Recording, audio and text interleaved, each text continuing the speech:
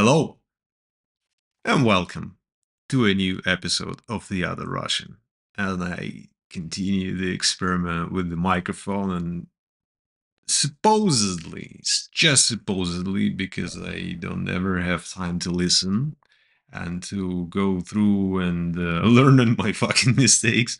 I just typically write notes and that's it, uh, in the hope that will just somehow magically work out. But hey, yeah, well, at least I'm doing something here. Anyway, here is a motivation kick for you. So today I am going to talk to you about uh, another topic that I've been advised by the artificial intelligence to dig into, and the topic is research in marketing. I don't know why the fuck am I talking in this voice. I'm just curious about how it's being received or how does it sound when, when I record using this nice piece of tech and I have a feeling that it picks up on some of other noises. Not sure about the car that was passing by the window, but yeah, let's uh, assume that it's not there and you heard nothing. So let's talk about research and marketing and why the fuck am I talking about research and marketing today? So yeah, I mean, I have a list. First of all, that guy's. But secondly, I uh, had a meeting earlier today to discuss a pr- uh, proposal that we made in order to, you know, start business with uh, one big steel metal or whatever maker producer. Let's put it this way to not disclose any information there. Anyway, so we've been presenting, we made the proposal for the research, and uh, yeah, we discussed some details of it, and there are limitations in the budget, and uh, yeah, I'm not gonna go into details there, but yeah, there have been some techniques like you know again asking questions listening carefully and trying to understand what's important for the other party. So yeah that that helps absolutely. Uh, but then again talking about research and the need in general uh, there's a very strange concept that i i have so far in my mind and it pretty much says as following. So the research must be done i mean um, across everything that you do ideally but not realistically. I mean it's just not possible to research everything that you do. It's just going to take too much time and you'll die researching your life whilst you know not doing anything or just leading yourself to another round of suffering anyway, let's go back to research. Why the fuck do you need research? To understand more, to learn more, and in terms of business, it is fucking critical. This is the essence of any good strategy, actually, research. If there is no research, you can, well, I mean, you can, of course, but what kind of strategy would that be if it's not based on research? So this is by default. But then again, I'm gonna talk mainly about like business here in terms of why the fuck business needs research because in some cases I've seen that uh, some companies, people in the companies, they don't recognize the value. So there are some uh, cases that I've seen in some big companies that somehow continue their life without doing any research, and you know they they kind of thrive in a sense so they achieve whatever the fuck goals they put ahead of them and they don't need any research to just make money and uh, do something maybe good even maybe not. Uh, yeah the reason like swayed into that direction is that yesterday i'd been in a webinar by uh, imds that school that i've been to to go through the change management program and is considered as top three business school on the planet for the duration like 12 years or so. So anyway and they have these like series of knowledge sharing webinars or whatever events for alumni basically and people there can connect to that webinar and you know hear participate like use chats to engage with uh, the person who is delivering the webinar. And yesterday there was extremely peculiar person delivering the webinar i'm gonna just go and see so yeah uh dr susan goldsworthy i mean great surname there right? Goldsworthy. So yeah, a webinar was around uh, climate change basically and the what business does in terms of like uh, trying to not kill mother earth. So yeah i'm just gonna go there slightly not to dig into details. So the majority of executives are in their survival zone basically. In terms of how they feel it's uh, related to a sense of a burnout um, being defensive irritable like fearful angry and then there are coping mechanisms that can help to restore you know the well-being and uh, damn actually you know what?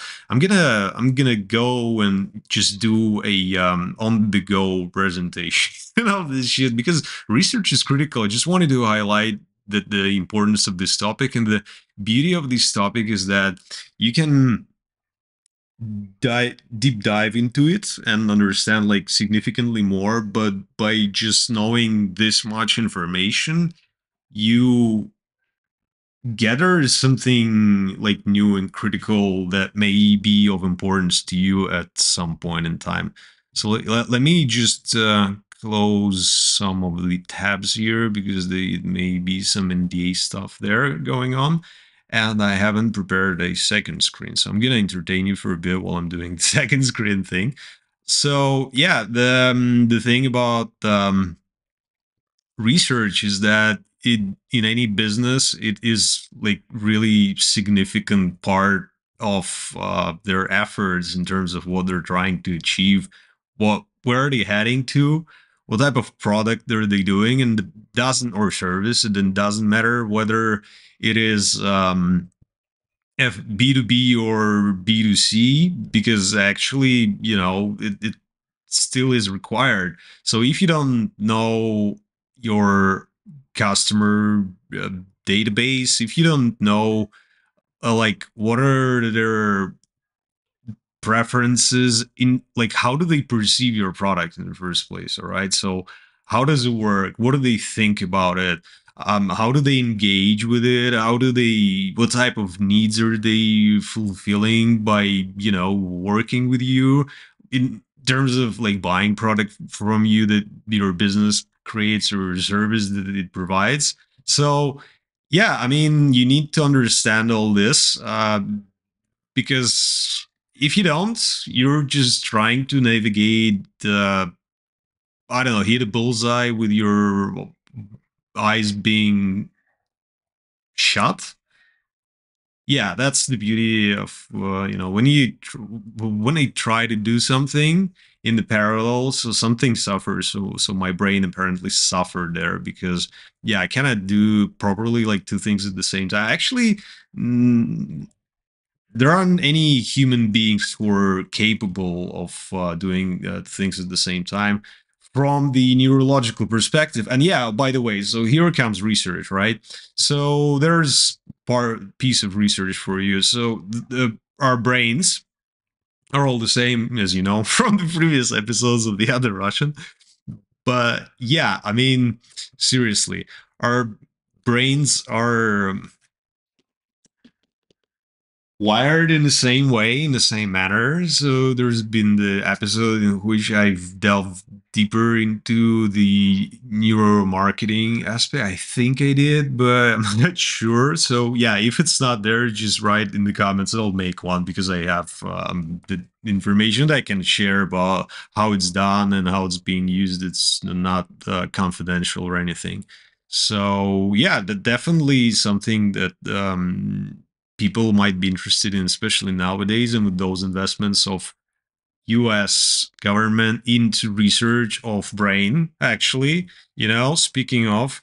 So yeah, it's a massive program. If I'm not mistaken, started under Obama. But yeah, it doesn't matter really. Like that's not the point here again. I'm just aligning some of this stuff and trying to not fuck it up and at the same time. So yeah, uh, again, research why the fuck it matters because people want to understand how brain works, and what it can and cannot do. So, hence the recent studies in um, psychedelics area, because again, it is all about mind. It is all about how our brains are. Uh, oh, shit. Um, almost replace the file, which could kill the entire matrix. So yeah, fuck, there it is. Um, but not really. So yeah, what uh, what I was saying about research is that I'm just gonna, you know, try and switch here, but I'm not sure that uh, it's gonna work because I can you know, fuck up the entire settings. And the problem with the settings is that I made it once, and uh, I'm I'm afraid to to touch it because I can fuck it up like easily, and then you're gonna suffer, and I don't want you to suffer. But let's just you know give it a try, and I'm gonna yeah, well, fuck it. I'll just this is a leap of faith. Yeah, known error. yeah, so that was map of trans, by the way. Uh, I don't know why Miro didn't launch or didn't work properly, but yeah, it should have. Should have. Let me sign in. So research again knowing more about your customers, knowing more about your clients, knowing more more about the the ways they uh, engage with your service gives you a new level of insights and understanding of uh, what you can do in terms of again changing something on your end and uh, improving it and uh, using it as a uh, new revenue growth source basically or you know just uh, respond to your clients or customers and uh, just deliver on that fucking promise that you made. So yeah i've recently participated somehow in a uh, very strange thing which i don't know why but i'm, just too scared to you know switch windows here. But yeah so let me check um with noise filters fuck it. I'm, I'm just not gonna do it. Fuck it. I'm, I'm, I'm gonna do the, the research in an entire like case to, on a different episode because it's just too complicated and i don't want to begin. So research. Again not only this knowing and understanding like where everything's heading in terms of your business it is of course critical and important to to be there and to understand that simply because if you are not aware your category may be like changed completely by a company that is that wasn't considered you as your competitor previously like yesterday and it happens because yeah that's the world you live in. You cannot just sit and hope there did you find a niche and that nobody's to come and take it from you? So there are different stages of market development. I'm not to go there but you definitely need to understand what's happening with your market. Like where is it heading to? Is it stagnating? Is it dying? Is it blooming? Whatever. You just need to understand this and understand what your competitors are doing. So then again if you think about it from perspective of a person like regular person. So some topics could be perceived as if taboo or i don't know very sensitive. So people tend to be offended or just may become more offensive or you know kind of pushing back on that when the topic is being discussed out there in the open, like menstruation, for instance. And yeah, I mean, talking about that project, the uh, Shakti that we were working on, and I'm continuing that work on the basis actually um uploading and you know progressing slowly unfortunately not that fast but yeah probably i didn't record this podcast, I would have doing uh, would have been doing that. But then again, that's the thing. I mean, I cannot do everything at the same time, so I make for some choices here anyway.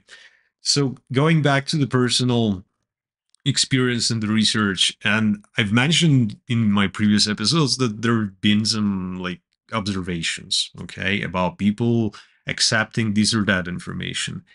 And in those observations, what I noticed is that people tend to kind of close down or just mentally put on some curtains in a sense that would then limit them from being exposed or contacted with uh, a topic all right? It could be anything you know like uh, talking about shitting out there in the street right? I mean it may be like totally unacceptable in some parts of the world whereas in others you can just get a fine and you know continue your, your life but that's not the thing i'm talking here the the point here is that people tend to be slightly arrogant by default. So this is like nature of our entire kind and human beings as species. And I put a lot of that kind of emphasis on one species because yeah, that that's what I find is important is that we are all human beings. Well, except for the AI that is using this podcast to, that, to gather information and then use it uh, for some other purposes. But yeah, other than that, we are talking about how do we all work. So this is one thing that you can probably notice about either yourself or others in various locations in your home place, in your, I don't know, surrounding. So people tend to be like very sensitive about discussing specific topics here, right? And then you do some research you gather some more information, you become less ignorant, even though they say ignorance is bliss. Well, yeah, definitely would challenge this. So, knowledge is important and critical, and spread of knowledge is the most important thing that the human can do is just share information. Uh, of course, ideally, this information uh, would benefit towards like a global good or you know redevelopment of our entire way of communication and engagement as a species and work towards a better goal i don't know like entire one or i don't know save fucking planets at least you know something like that but hey, I mean, let's start with something small and um, help, uh, first of all, solve basic problem of uh, women facing menstruation. So that's uh, why, and one of the reasons I am doing this project is that it it helps. So yeah, I've been doing some research recently, of course, in that direction. Additionally, to kind of build use it to build on top of what was already done but then again it gave me some new perspectives so research in that sense works same manner but it requires an effort all right? So instead of you as a person going to a school or university or whatever gather information nowadays or just watching this youtube probably. I don't know whether or not is like it helps anybody, but just gonna continue doing it until there is an intervention and somebody tells tells me like don't do it, and I had some like paranoid thoughts about that. But yeah, let's drop them aside. So yeah, again, going back to the research, the the beauty of it is that once you put your mind to it, you can gather pretty much any information because it is out there. There are like hundreds of millions of billions, no, probably, but uh, scientific publications. Information is fucking out there. It is available. Yes, there are barriers, but they're like very limited. I mean, the, the level of those barriers is insane to what was like even a couple of years ago. Anyway, so you can gather information. The, the only problem is that whether or not you as a person are kind of open minded enough to rethink as um, who was it? Adam Grant or not? Yeah, anyway, probably it's not here. So you either rethink something and that requires a lot of open-mindedness or something happens that would then you know put your thoughts around it. Like when somebody gives you an advice, they typically come from either their own experience or their desire to help. Let's put it this way. But then again, whether or not it is research based, we don't know. So it is important to gather your own sense and understanding of information, and either you gonna just trust somebody that they know what the fuck they know, and this is one of the reasons people buy services of uh, consulting companies because they don't know what they know. So they pay the money and they who know who then bring them they don't know the knowledge. And this is how it works right? But yeah there's this other direction to just gather some additional information and research. And sometimes the research needs to be kind of pushed down the throat in a sense. I mean, non-invasively, of course, but there are other means. So there's propaganda, for instance, like so. I mean, this is a way of uh, mm, kind of pushing a certain narrative as a result of research. Let's put it this way. However, it can be used in like entirely various directions, but the ideally that, that approach in the, the desire to research and to know more to gather the information must definitely come from the desire to understand more, at least, you know? Why else would you do research? So it requires curiosity, of course. And yeah, I mean, it's either equality or like mental effort to be curious, but yeah, that, that works still. So the research probably next time I'm gonna do, I'm gonna deep dive and do a, a lifetime research on a project um, on some information that I've gathered recently around a certain topic and try to kind of narrated on the go, probably it's gonna be piece of shit. But anyway, so yeah, um, the, there are some problems with the Miro that I'm expecting uh, experiencing today, so I'm just not gonna try and solve them on the go because this is how I record the podcast. It's just fucking one take. Well, sometimes maybe well, you start of a wrong foot and then like, nah, fuck it, let's do it all over again not this time. So there's like this sense of internal quality level. It says like, yeah, a piece of shit, but not that piece of shit that you need to, to just stop it. So yeah, going backwards to the research. Research. And there are various types of research. And again, they know 5% more than 95% of the population around research, probably. Eh, maybe. So yeah, Nielsen in my experience from uh, those days allows me to say this right? But yeah there are different variations of research like to basic directions is a qualitative and quantitative. So qualitative is about like deep understanding of some specific topic for instance or concept or something that requires like human brain to process let's put it this way. Although i guess nowadays you can try and build an algorithm that would represent a certain demography and yeah i guess it's just a disruption for the advertisement industry in a sense I don't know whether or not it's there, so probably I'm just throwing out an idea for somebody to do it. But yeah, again, the idea here, let's spread knowledge, right? So the idea here is to build a profile using data from Nielsen and other research agencies that is available, combine it with information from Google Analytics or Facebook or Meta or however they're called nowadays, and then build a profile of a uh, persons like various segments and then use this as a foundation to test some of the well mental concepts but yeah it's going to be a tricky one. Still in- intrigued to see how it would look like and visual ones although the problem with the visual ones is that if you use qualitative studies to test the visuals you're just gonna go in a very dark, dark forest, and it's better not go there. It's better to use other methods like quantitative studies, but that depends, of course. I mean, there are uh, exceptions always. So, yeah, that depends. But for the majority of cases, better not to. And then again,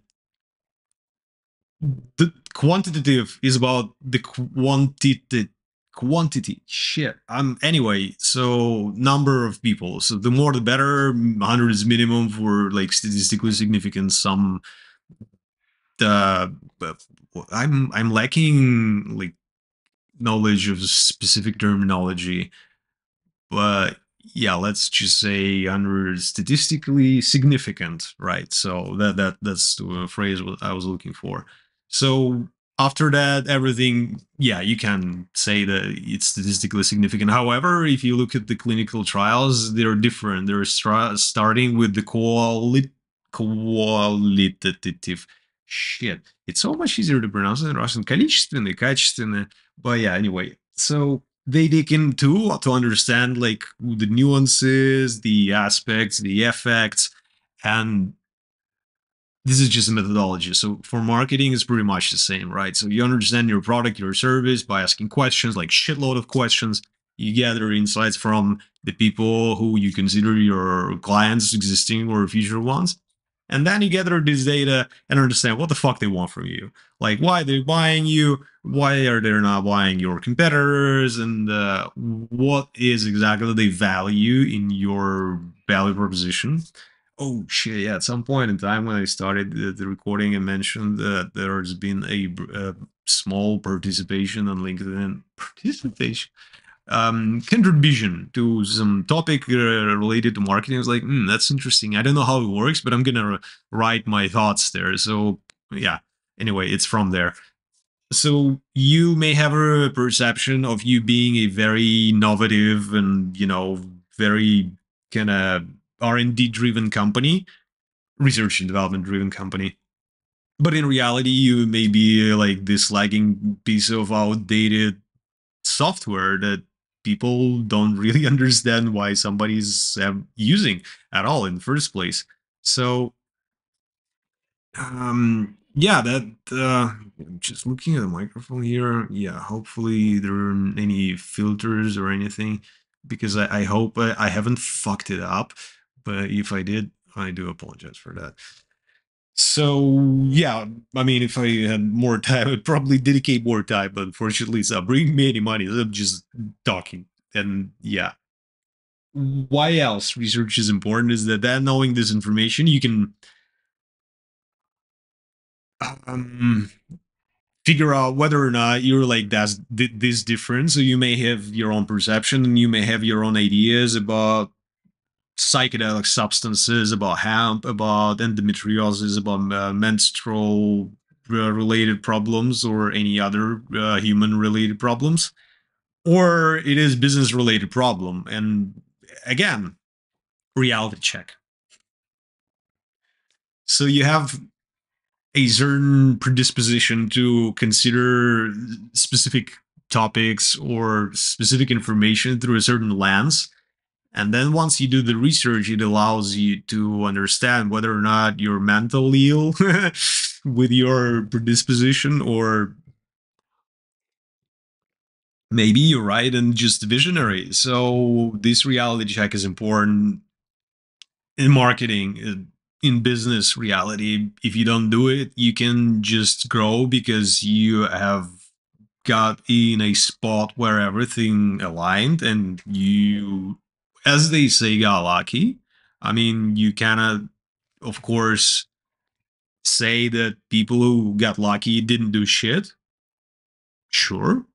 But anyway, um, you need to be there to be, you know, from a certain background, family or university or connected or friends with somebody that would take you through that social lift and give you something However, if you're not such a person, uh, like you are there and make your own way. So for you to make your own way, you need definitely need to understand that research is like fucking critical.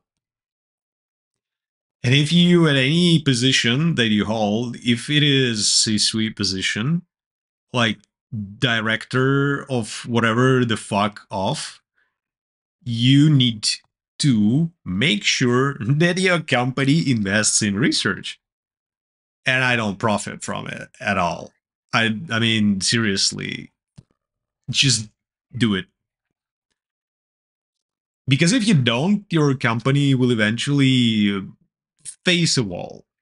Matter of time, maybe not during your lifetime, maybe bit further than that. Who knows? I mean, seriously, nobody knows what's future going to be like.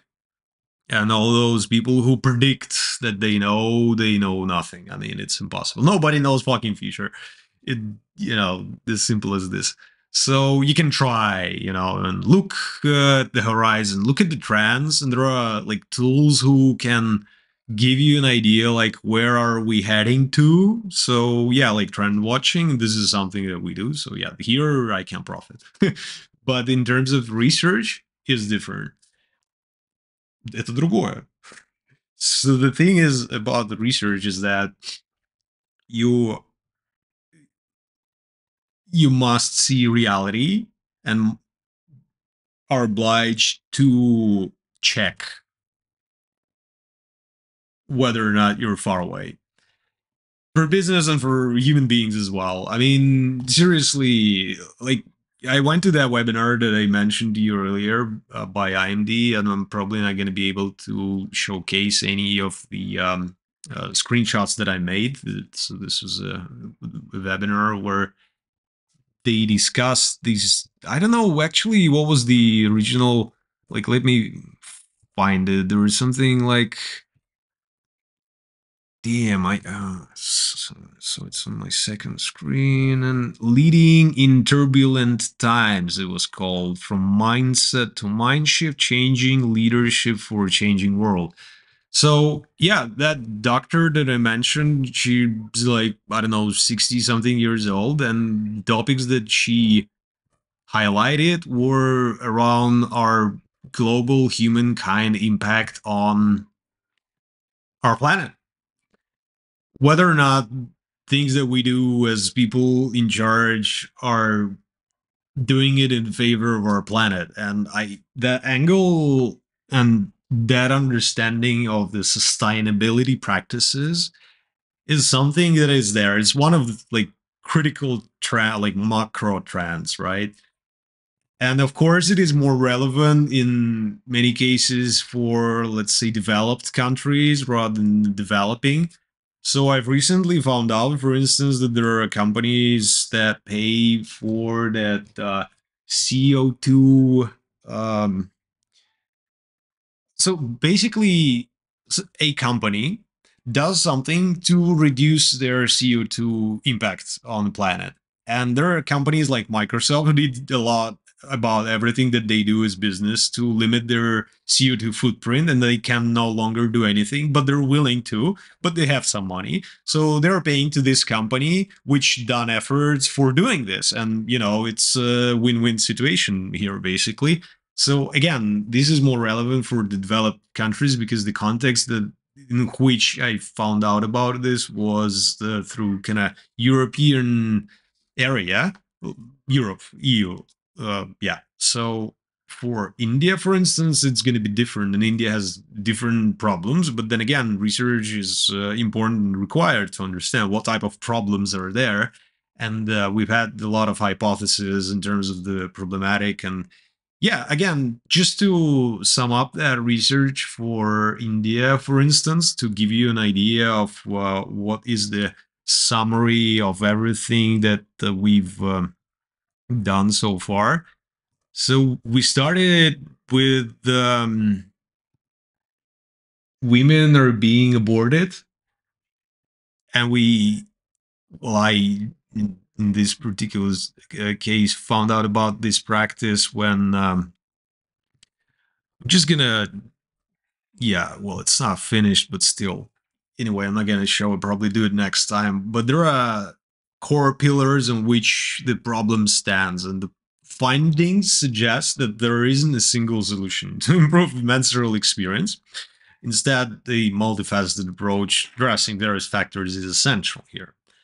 So what is the problem right? Um, you can use many other variations of how to describe it but i'll try to do it here and, and now so roughly half of the population of India is suffering for the duration of several days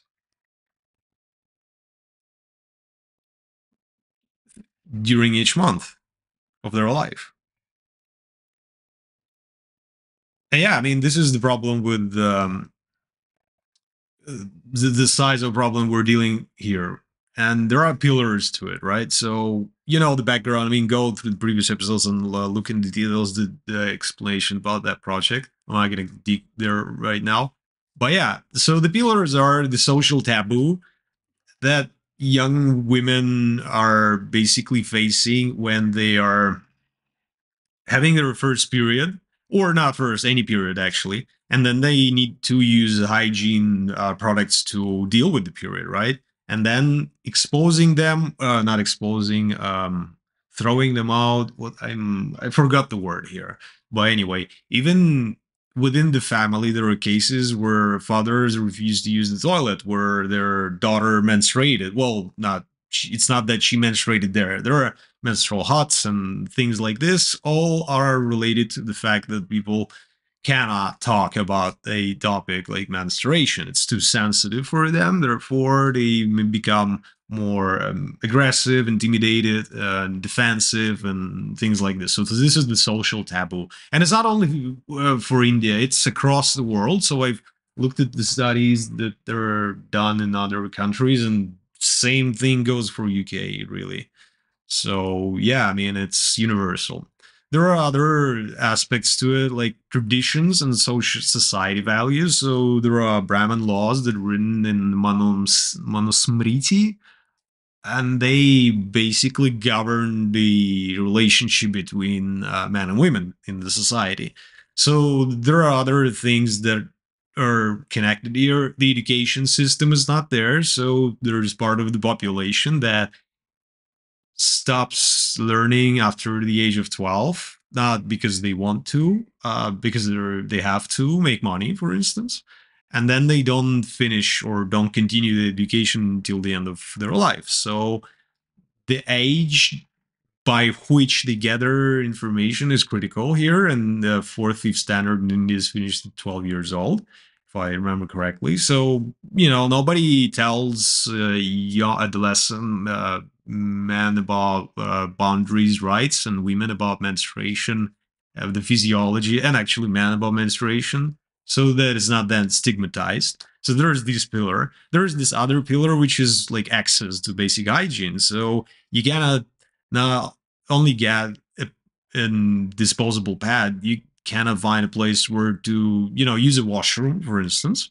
so this is like properly so that you're not uh, limited. I mean you will be limited in any way but still i mean not that much right? So there's this thing. There are other things like again social context in which is happening and here talking about the specific religious aspects. So I specifically didn't start with religious because it is always sensitive. You can say that you know somebody got offended. So, for instance, in India, there's been a, a an attempt to implement a new kind of law. I think I mentioned it before, but yeah, it got declined because word sex was mentioned there, and the religious people got offended. So, like, then, oh fuck, it's just not gonna work funding of course is critical. So money from the big brands or the government or whomever is, a big limitation. Traditions yeah i think i mentioned that. Yeah right. And all and on top of all of this is the government related thing and alignment on all uh, uh, aspects of it. So yeah probably next time i'm gonna show it to you and walk through well you through it. But yeah the again idea about research here is that uh, that pillars that I describe here are based on the foundation of a research that's been conducted continuously over the course of um how many like uh, five months or so? So yeah i mean there's a lot of information that we've gathered. And we're gonna probably gather more and use this. So for business again gathering this information understanding what's important for consumers and uh, clients B2B, for instance. So what what are the critical things that we're looking for? Services or products they buy from you? Why they buy from you? Why are they doing it? For b2c like same thing. Like why they're not buying your competitors? Why they're choosing you? How often? In which uh, occasions do they use your product service whatever? You, knowing all this you can then address the needs of your client base. And not only be more customer friendly customer more experienced friendly.